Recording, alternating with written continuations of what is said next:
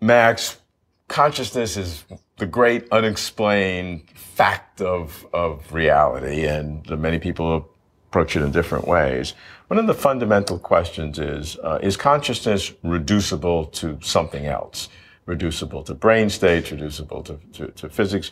You make the claim that consciousness can be explained by physical correlates. People talk about the neural correlates of consciousness. You talk about the physical correlates of consciousness. So obviously you feel consciousness can be reduced. I don't like the phrase reduced so much because it somehow sounds derogatory as if, whereas an emergent phenomena is normally more advanced than that from which it emerged. But yes, I, I definitely think that uh, consciousness does not require any new physics, anything beyond the, the, particles that are moving around in my brain right now. If you just take that starting point and combine it with the empirical fact that I know that I'm subjectively conscious, that already tells me then that the, there are certain ways you can arrange particles so that they feel conscious. And that begs to me the very interesting question, which has more of a physics flavor now, which is not the question of why can particle arrangements feel conscious, but what particular particle arrangements feel conscious and which ones don't. What is it about the nature of the particles arranged here that makes it conscious, whereas this arrangement does not feel conscious? And um, that is a legitimate scientific question, but it, it is grounded on, on pure physicalism. That, that the, the physical properties that we know today in our current physics, mathematics, etc., uh, even with, with some expansion, are sufficient to do that. Because once you're you, you get you're given the fact of consciousness and and physicalism, then it's a natural conclusion that we have to figure out why this structure is conscious and every other structure is not conscious in some way.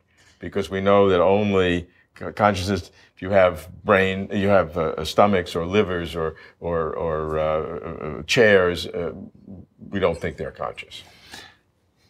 That's right.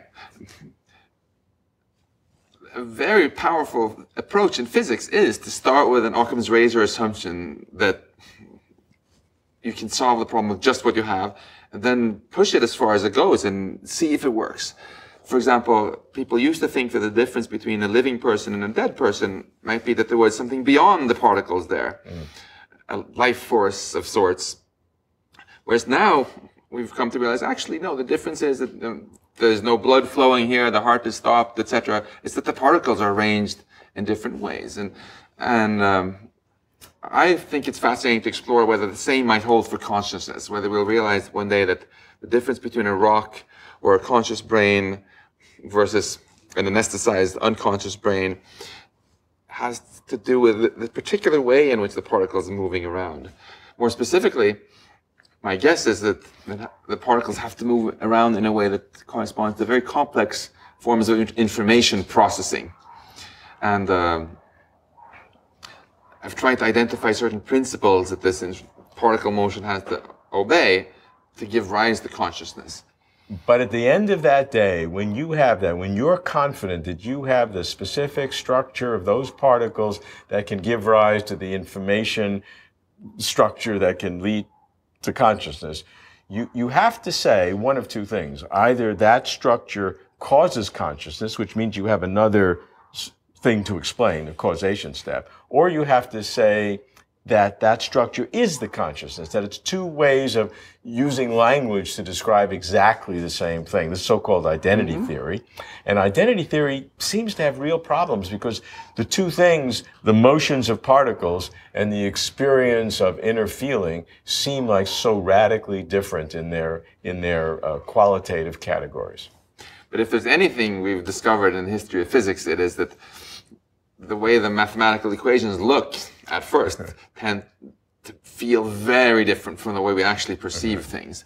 So, and I think in the past, when we've had problems like this, the problem has turned out to be that we were simply too limited in, in our imagination. I mean, if I look at a rabbit in my backyard and contemplate that this rabbit is just grass, rearranged. you know, could I have imagined that you can rearrange grass into a rabbit if I didn't know there were rabbits? No, I, I couldn't have. And so I have to be open to the idea that maybe, in fact, this incredible, rich inner world I have, feeling, perception of colors and flavors and thoughts and feelings, is uh, also something which simply is the way information feels when it's being processed in certain very complex ways.